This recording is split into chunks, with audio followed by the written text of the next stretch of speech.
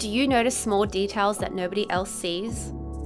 Do you enjoy problem solving in video games? Are you interested in the patterns behind people's behaviour? We are looking for unique individuals with the right kind of minds to navigate the unknown. Western Sydney's Bachelor of Cybersecurity and Behaviour is the first course of its kind in Australia.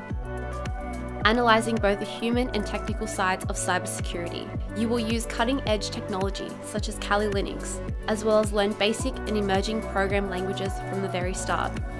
But we go beyond the technical training to teach students aspects of behavioural science. What plays on human behaviour to commit online fraud and hacking? How can behavioural science protect privacy? In this hands on degree, you will be taught by experts and work with companies across multiple industries who will develop your skills in genuine security environments. Discover the digital future at Western Sydney University.